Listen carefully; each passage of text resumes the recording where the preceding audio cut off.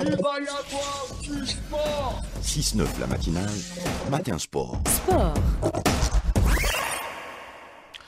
Euh, bonjour. Bonjour. Et pour commencer, on va parler euh, de l'arrivée de l'équipe euh, de la sélection palestinienne chez nous. Eh bien oui, rappelons, il faut toujours rappeler, dans un premier temps, que l'Algérie avait proposé ses services pour accueillir la Palestine pour préparer le tournoi asiatique. La FIFA s'y est opposée en invoquant le fait que l'Algérie ne faisait pas partie de l'Asie, sur le continent sur lequel la Palestine eh dispute les éliminatoires, et à partir de là, donc l'Algérie ne pouvait accueillir les matchs de la Palestine. Mais dans le même temps, ben, toujours avec nos frères palestiniens, la disponibilité, l'Algérie a offert ses installations pour accueillir la préparation de l'équipe palestinienne arrivée à Annaba, stage bloqué à Annaba pour préparer dans les meilleures conditions, mais meilleures conditions entre guillemets, parce que les joueurs ont toujours l'esprit à ce qui se passe chez eux, dans leur euh, propre pays, ce qui se passe à Raza, la vie de leur famille. Donc pour tenter de préparer, de représenter le mieux possible les couleurs de la Palestine. Sur, euh, on va écouter d'ailleurs un joueur de l'équipe palestinienne, Samer El Joundi. بداية نترحم على شهداء الوطن.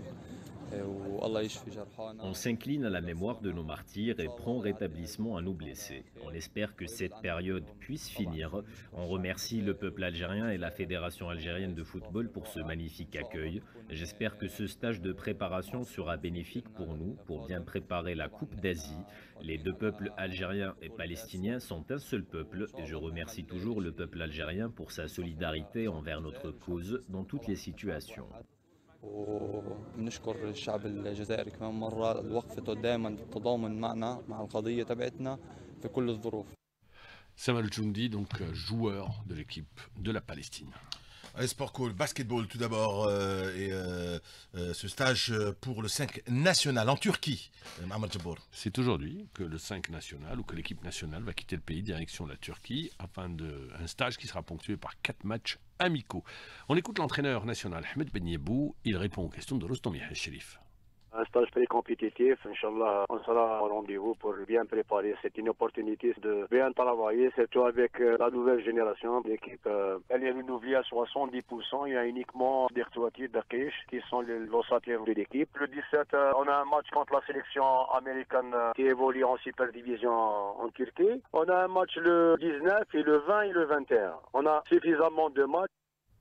Voilà, c'était l'entraîneur national. Ahmed Ben Yebou, ce stage dans le cadre de la préparation du prochain championnat arabe des nations prévu du 26 au 3 janvier prochain. Alors, il y a l'Algérie et l'Égypte, pays organisateurs, cinq autres sélections confirmées leur participation, le Koweït, les Émirats, la Mauritanie, la Libye, ainsi que le Maroc. Un mot sur le handball, notre équipe nationale qui prend part au tournoi international qui se déroule au Caire pour préparer dans les meilleures conditions le championnat d'Afrique des Nations 2024. Alors, défaite face aux Égyptiennes. Aujourd'hui, l'Algérie affronte le Congo. La rencontre aura lieu à 13h. Voilà ce qu'on peut retenir. Sinon, pour le reste, on retiendra qu'il y a eu le tour régional Coupe d'Algérie, la Ligue régionale de Ouadgla, il y a eu quatre qualifiés, donc il n'y a pas eu de surprise. On retiendra l'élimination de Harrach battu par euh, Kuba. Également, le, ce qu'on peut retenir au cours de ce tour d'élimination, Akbou s'est qualifié devant la GS Borges Benaïl assez facilement. Je rappelle donc pas, pas de surprise pour ce qui concerne ce tour de Coupe d'Algérie en attendant la reprise bien évidemment pour euh, les équipes de Ligue 1 qui feront leur entrée dans la compétition à partir des 32e de finale. On va parler de la presse plus prestigieuse des compétitions, euh, la Champions League européenne.